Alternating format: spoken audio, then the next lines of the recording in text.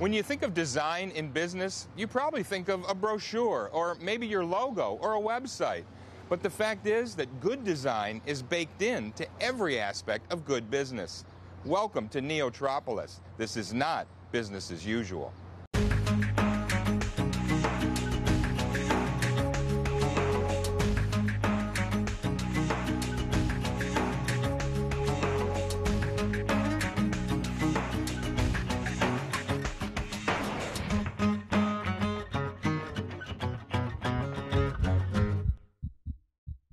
Welcome to this edition of Neotropolis. With help from our content partners, Crain's Cleveland Business, the Business Journal of Youngstown, and CoolCleveland.com, we'll take a look at the top business and economic issues facing this region. And we'd love to hear from you. Check us out on Facebook, on Twitter at Neotropolis TV, or on our website, neotropolis.org, because, after all, it's your region too. When it comes right down to it, what most business people are paid to do is solve problems which requires a heavy dose of creativity and usually the work of more than one person. And when it comes to creativity and collaboration, most businesses could probably learn something by paying close attention to the methods and practices of artists and musicians. The unique Peter B. Lewis building on the campus of Case Western Reserve University. It's probably not a coincidence that the Weatherhead School of Management is at the forefront of a new school of business thought, merging management with design. That merging of management and design is evident in the collaboration between Case and its neighbor, the Cleveland Institute of Art, Weatherhead hosting CIA Spring Design Show and collaborating on other projects with art students. When we're doing things like management, and, and for that matter, engineering and medicine and lots of other disciplines, uh, most of the arts, dance, and so forth, the, the things we're studying aren't like what physicists and biologists and chemists study they're things that have been created by humans. And so they require a somewhat different set of skills and a different set of attitudes. Because when we change these things, when we, when we study these things, we end up changing these things as well. The collaboration seems to be working. Business Week named Weatherhead one of the best design schools in the world. And of the top 30, only one of 15 that grants MBAs, an endorsement of the school's management by design philosophy. When someone leaves a program like ours, it's the expectation that they're going to be able to do something valuable. And the valuable stuff that real managers do today is resolve these messy problems. That's our job. Our job is messiness. If it's not messy, we don't have a place in it. Somebody has long ago put it into a computer program or you know broken it down into a set of simple tasks that can be you know, subordinated to clerical work done someplace on earth and found a way to do that cheaply. Uh, so it's, it's really, um, it's not the future, it's what we've got to contend with in the moment. Managing by Design is looking at existing problems in a new way, like when trucking owner Malcom McLean looked at solutions to expedite overseas shipping other than making the boat go faster. With the invention basically of container shipping, uh, he completely rethought the way that loading and unloading went, and it, and it changed the time in, in, in port from uh, roughly three weeks to about 18 hours. So a huge shrinking. So that was seeing the problem in very different terms than the terms in which it had been seen by most of the people working on solving it. Now, with us tonight to share their thoughts on this story and more, our panelists Michael Kristoff, designer with Forum Architects of Cleveland and the organizer of the Cleveland Design Competition, Jeff Pelayo, director of the Digital Media Department at the Virginia Marti College of Art and Design in Lakewood, and Dan Cuffaro, chair of the Industrial Design Department at the Cleveland Institute of Art and a proponent of the Design District in downtown Cleveland. So, Dan, you are collaborating with Case on this Managing by Design. A lot of the stuff we saw in the video here was from your design students at CIA. How do you spin these students out year after year after year? What kind of jobs do they go into in the real world in business? Well, the places that they go, uh, first of all, it's all over the world. We have students working in Italy, Germany, East Coast, West Coast, Midwest, uh, companies like Nike, uh, top consulting firms like Ziba and IDEO. Uh, so um, it's part of a combination of their creative thinking, their uh, ability to understand how uh, new ideas translate into business opportunities and can be commercialized. They're designing not only new packaging and, and think designy things, they're designing new products, correct? New processes. They are. Uh, the way our philosophy is we teach a process for developing innovative things.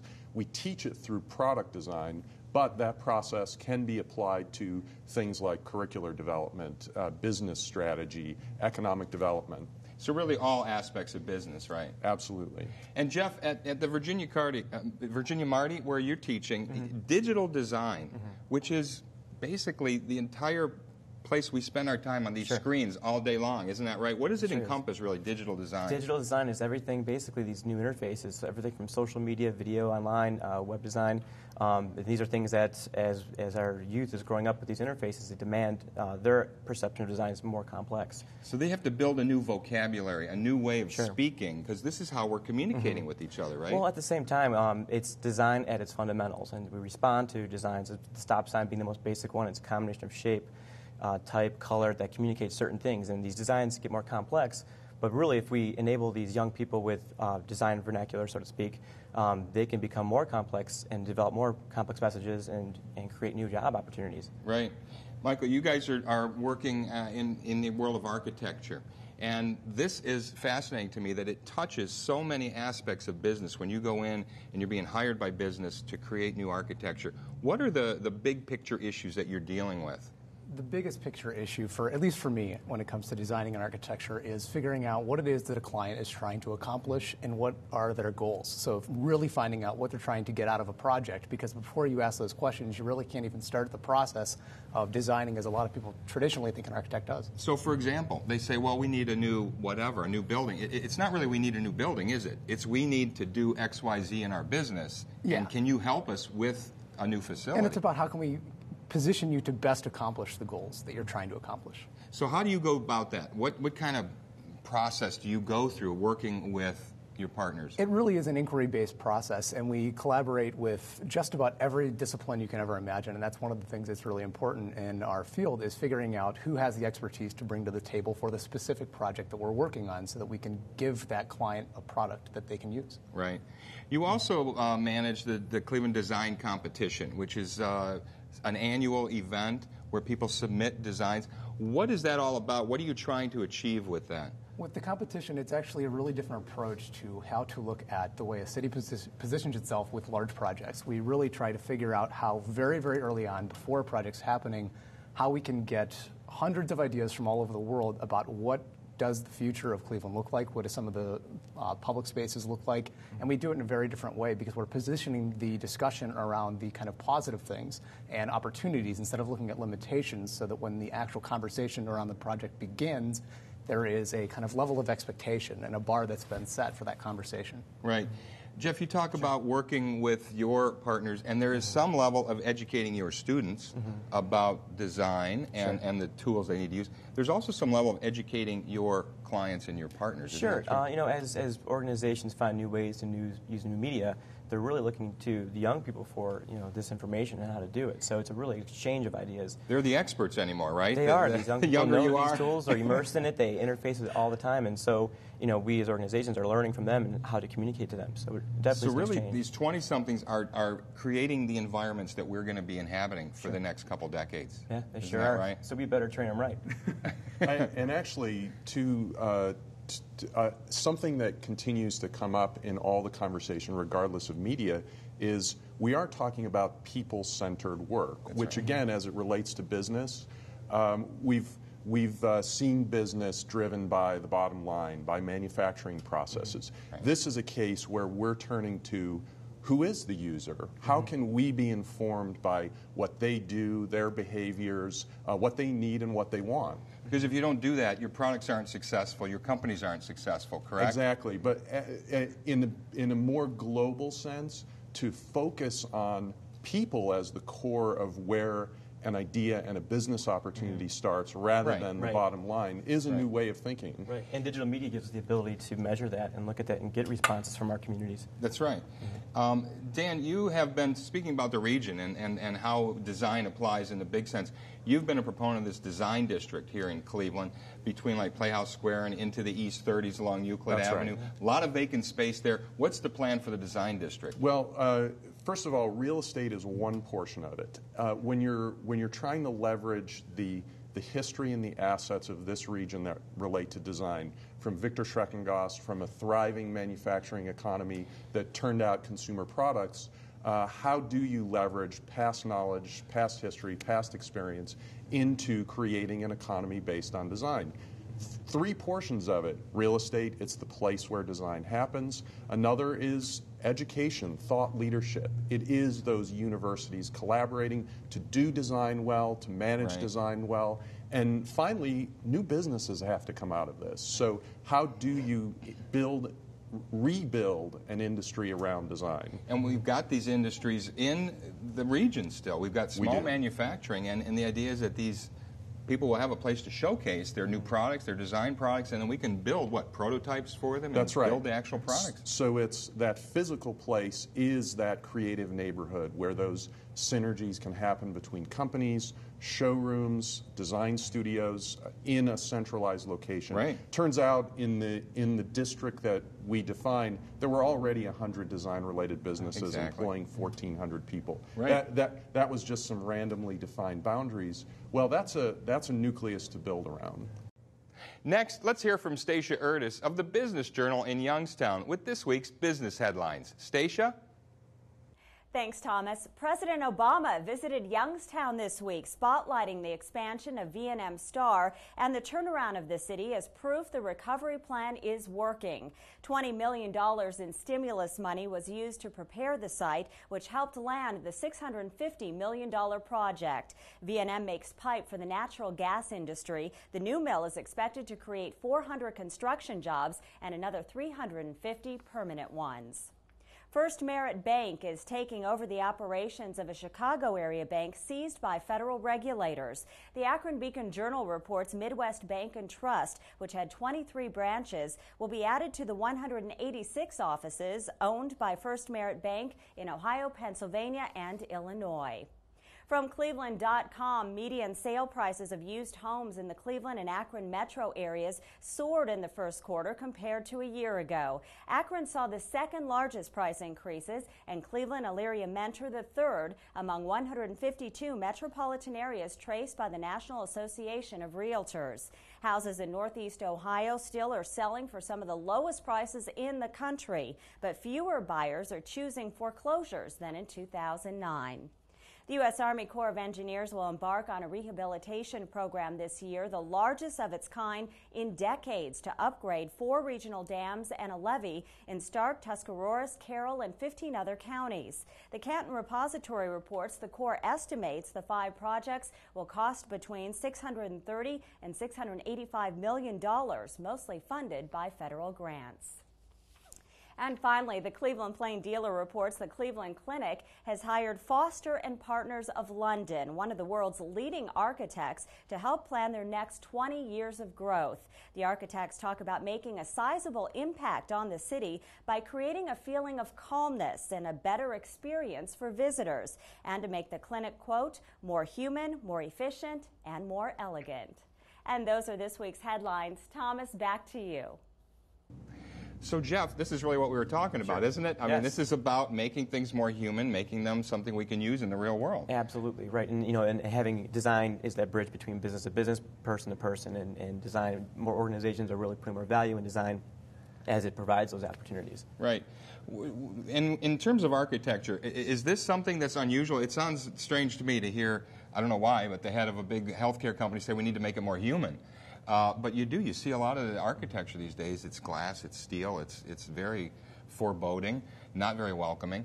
Uh, what is the clinic trying to do here, and do other clients of yours try to do the same kind of thing? Well, they're trying to change their image in the way that uh, people feel in some of the public spaces they have, especially. So they're trying to figure out how to design the public realm in a way that makes anyone that's in any of their public spaces feel like that space was designed specifically for them, or is absolutely comfortable, and is making sure that you're kind of weighting the spaces for pedestrians and not the vehicle, and all of the things that go along with making people feel comfortable when they're in a space.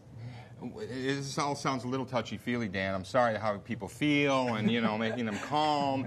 But what's the ROI? When you're talking with a client and they're spending millions, hundreds of millions of dollars here over 20 years, there's bottom line, we need to see some response and, and There is, ROI. and uh, this relates directly to the cost of delivering health care. When you make environments that are more intuitive, it's easier for people to move around, understand where they're going, what they're doing. It's reduction in medical errors, it's i- improvements in training uh, that all have to do with uh, more efficient delivery, uh, lowering costs, and creating a better experience on top of that. That's great design. That's that's that part where uh, it works better, costs less, uh, and that's a real opportunity that the clinic has. And tell me why, why great design costs so much. I mean, you're, you're an architect here, Michael. It, it's very, very expensive. What? Why? I feel like you're leading, leading the witness there because it's not because it's not it's not that it's explicitly or has to be more expensive, and you have to kind of separate out whether you're talking about a product or a process. Because at a product level, you're never going to change that a diamond ring is more expensive than a plastic one, but that's at a product level. But what you can start to look at is the process, and good design at a process level doesn't have to be more expensive. It's really about you know at, at a percentage of cost of a project, especially in architecture you know, spending an extra two months to really get into why a client's trying to do something really doesn't cost you that much more. So and it gets you exponentially better results. It's the time more than anything else. Jeff, you're in the digital realm. Are, are we are we keeping ourselves from being human by, by, by focusing in the digital realm so much, keeping us behind screens? Uh, it- you know, I think there, it, it enhances the, uh, the amount of communication, but I think ultimately it, it needs to be a, a means to connect people to face to face, and that's where things get done. And I think a good design can initiate those, those, those contacts. When it comes right down to it, what most business people are paid to do is solve problems, which requires a heavy dose of creativity and usually the work of more than one person. And when it comes to creativity and collaboration, most businesses could probably learn something by paying close attention to the methods and practices of artists and musicians. Music is a great metaphor for teamwork, and great music, like here at Severance Hall, is an excellent example of how a team could win by playing in harmony and working as a symphony. Composing great music might seem like a solitary task, but great sounding performances aren't made alone. They involve great collaboration. all you do as a composer is you write down a couple of notes on a piece of paper, you know, and uh, in order to translate that into something that other people can hear, you need uh, performers to play it. Every performer is going to take his or her experience to it and play it very differently. I think that's what all artists bring to, to traditional management is this greater sense of collaboration with, uh, with those you work with. And some feel the collaborative and unconventional nature of musicians and artists can teach important lessons to business. The musician perhaps brings a creative orientation and a curiosity to what else is out there um, because he feels, in, in a business sense, the need to keep on developing new products. There's only so long he can sell the same umbrella. Um, he's he's got to he's got to put something on the top of it that makes it different. That different way to look at a situation can be music to a business's ears, but that doesn't mean you don't watch the bottom line. Absolutely, you need a mix. Um, I'm not so deluded as to think that I could run um, Pfizer. Uh, but I- I'd give it a shot. I don't know how well we would do, uh, but I think you do need a mix. And that, uh, that, again, in the spirit of collaboration, you need to know your, your, where you fit in the puzzle uh, to, to do the best work that you can do alongside someone else doing their best work. But another important lesson, one Thomas Shepard learned from his first boss in the music business love the product first, the results second. Um, he said, you can, you can train a musician to be a businessman. You can't really train a businessman to be a musician. And he wanted people in his company whose first gut love was the music. Um, and he also felt that you had to give something back. You, you want to actually do some good in the world, right? You have to pay your bills. So um, after you've paid your bills, um, if you're doing good in the world, you've actually um, run yourself into a successful company. So, Dan, we're talking about collaboration here, and we're talking about you guys at CIA with your students who are art students going out into the business world. What does that do in the business world? As you're saying, easier to take an artist and train them in the world of business. Uh, well, it, there are two things. First of all, it's to uh, get uh, businesses to employ more creative practices. So, influencing the way that business people think about what they're doing and being more innovative. The second is just a very pragmatic uh, situation, which is these students have uh, an enormous amount of great ideas for new products that can turn into business ventures. So that's, uh, that's an opportunity for those startups that relate to great ideas that are well embodied, well communicated, that, uh, that MBA students can take and pitch. So creating those connections between design students and business students just has real practical concerns as it relates to development of future enterprises. Yeah, exactly. And Michael, when you work with a client, you're, you're collaborating, you? I mean, this isn't really a one-way street, right? You don't take the thing and, oh, here it is, boom. You're really in total collaboration. How do you work in collaboration with clients? Typically, most of the best ideas that I'm drawing have come from someone else, whether right? it's the client or one of our consultants. You just take credit for it and charge them, right? No, we illustrate it. We, we find a way to illustrate that so that we can kind of rapidly prototype these things so that we can really figure out the right solution before you're building the thing in real life. I mean, that's what we get paid to do. Exactly. And Jeff, you guys at, at Virginia Marti work in collaboration Mm-hmm. with a lot of the local businesses in the region, isn't that right? They come to you for all kinds of all, projects. all various design solutions again, and they have a need, and, and sometimes being new media, they're not sure what, what that need might be. And what a great place to uh, forge a relationship is it between education and business. So they're both learning the process of working with designers and, and exploring new media options, and it, and it initiates them to take it to the next level. and what do the students learn from this? Because they probably come in with certain ideas, preconceptions. Sure, students learn structure. I mean, they, they, they're creative by heart, but if we can train them that, look, there's value to what you're doing in the business community, it, it makes them think a whole new way. And what do your clients learn from it? That's what's interesting Sure. Mm-hmm. to me because you've got businesses of all stripes. They probably come to you thinking, let's get some Sure. students working on this. We'll save some money, A. Right. We'll work with the local community here. But what do they end up walking away with as, as business people? Sure, they've learned something too, and you know they're having a, a chance to immerse themselves with their market in, in many ways. These students are the ones that are in, entrenched in this media, and they're learning how they're using it, learning new ways to explore communication uh, strategies with to them. So collaborations are not easy, uh, and they're very, very challenging. What are some success factors? What do you have to do to, to ensure or, or, or greatly ensure success? Well, in working with local businesses, we found that um, there, there still is often an old model, which is sort of this top-down design as a service. It's like going to Kinko's, make me some, make me some design. Right. Um, what, what we try and do is very early in the process set ground rules where uh, our goal is to educate each other. So we're trying to teach them a different way of doing things. It's not give us a project, let us do it, uh, we'll deliver And we'll exactly produce some what you asked for. and exactly. lay it on you. Yeah. It's um, uh, let, take a risk. Let us teach you a different way to do things while we're learning some real practical considerations. That's one of the most challenging parts because uh, a lot of times uh, struggling organizations will come to us. Well, they're struggling for a reason. They made bad decisions. Yes. And our goal is to help them. Uh, through design, make better decisions. Do you end up dealing with their decision making process, the internal process a lot? You didn't start out doing that. You want to get to the end product, but you end up dealing with the process? We do, and um, and things that we've done is uh, we've sat down with companies and said, you know, they want to give us a project, mostly for philanthropic reasons, um, and uh, and we say, you know what? Let's look at your entire product line and look for the hole and fill it. And sometimes they've never even noticed there was a hole Right, there. right. So th- there are real opportunities that come f- uh, on both sides out of the collaboration. takes that outside perspective a lot of times to come in and, and see things.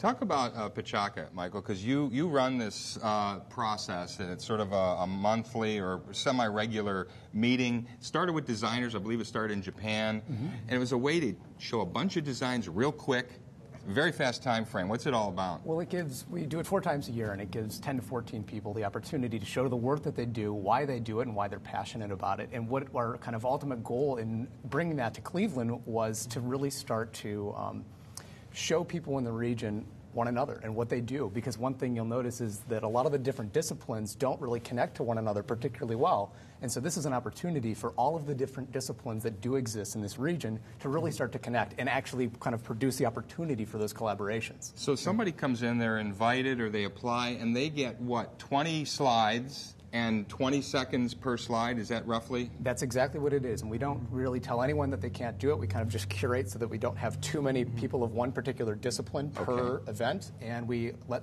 each person shows 20 images, and each image is up for 20 seconds apiece. And then who shows up? You say it's interdisciplinary. What types of people are coming besides designers who you would expect to be interested? The designers are the obvious one, but what's really interesting is the people that each person invites from their own kind of group of friends and family and clients. So you have, you basically are produced. I mean, if we have 14 people doing presentations, we have 14 people inviting 10 people themselves. So we get three to 400 people at each of these events, and there, it really doesn't, isn't dictated by, it. it's not just designers that are there. That's what makes it interesting. That's, that sounds really cool.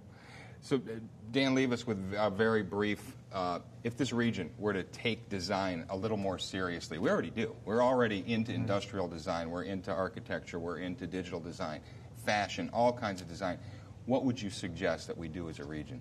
Well, first of all, uh, we have to be willing to work towards a common vision. If everybody's moving in separate directions, it doesn't work. Um, I think we have to stick with a very pragmatic approach. The world needs pragmatism, and I think that's a unique brand of design that can come from Northeast Ohio.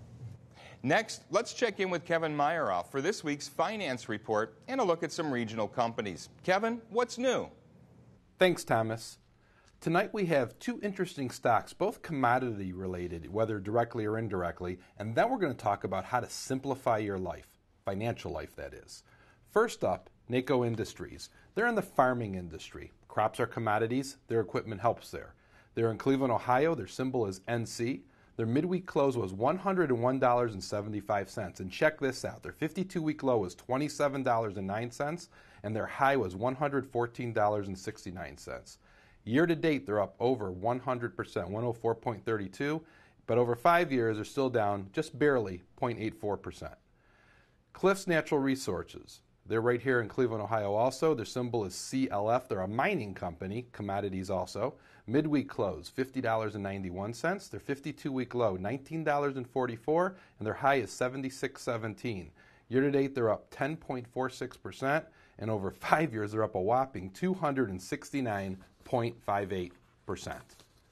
Now we're going to talk about simplifying your financial life. This will help relieve stress, and if you do it correctly, there's also a green movement. We're going to save a lot of paper. First up is merge and purge. Many of you have multiple IRAs sitting around in different banks or investment companies, and many of you had many jobs you've been through in the last decade, and you could have three or four 401k plans sitting out there. You can set up one self directed IRA, merge them all together, one statement, one place, and allow you to better manage your investments. Next up is go digital. Whether you like it or not, this is coming. Electronic banking is here. Scanning your important papers and then shredding them is a great way to protect the assets that you have.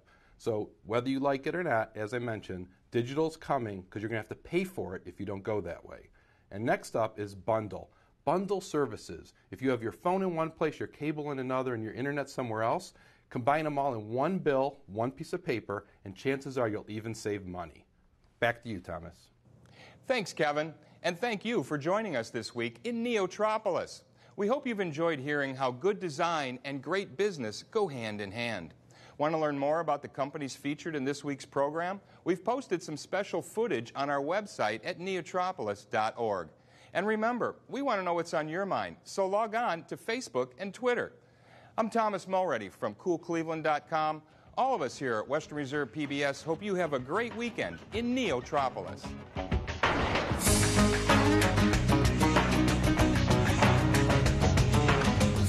Funding for Neotropolis has been provided by the Burton D. Morgan Foundation, committed to the free enterprise system.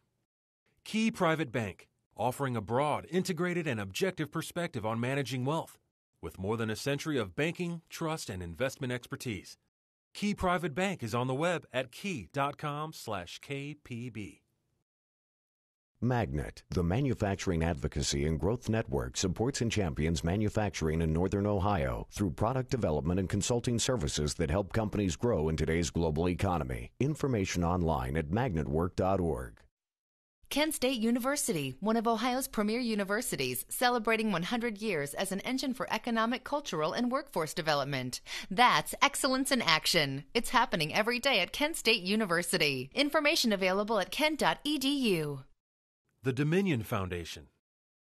Jumpstart, working with entrepreneurs to accelerate the growth of their high potential businesses to create a more prosperous economic future for Northeast Ohio. The Raymond John Wean Foundation. Youngstown Business Incubator.